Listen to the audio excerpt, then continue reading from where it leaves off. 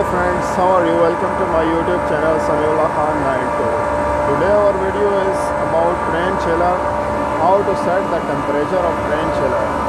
Trane chiller have two compressors, two it's a two circuit uh, chiller. Uh, we have two compressors in this uh, chiller. You can see this is our chiller of Trane, Trane company.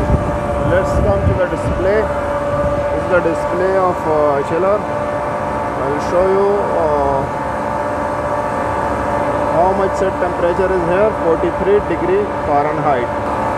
So here is the set temperature is now 43 43 set uh, temperature of uh, this chiller.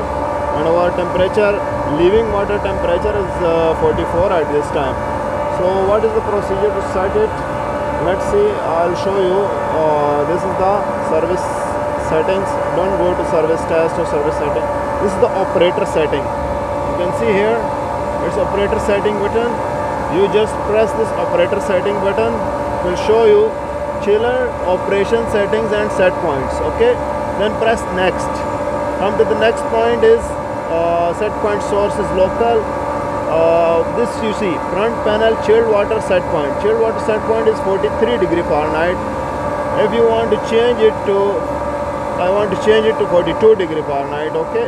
No okay let's say uh, 41 degree Fahrenheit. We can we press this next.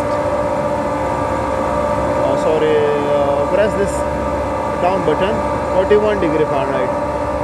Okay then press the enter button. I'll press enter button. We'll check back again. This is 41 degree Fahrenheit. And now we'll check back again. What is the set temperature showing? Before it was 43 and now you can see here. Here is 41 now. 44 is our set point. So we are running our chillers on 43 so I am back uh, just it was uh, I am showing to you for the to understand at how to change. We will back go back to operator settings. And then next next uh, front panel chilled water set point is 41 and then press 41 42 43 these up and down keys for the temperature.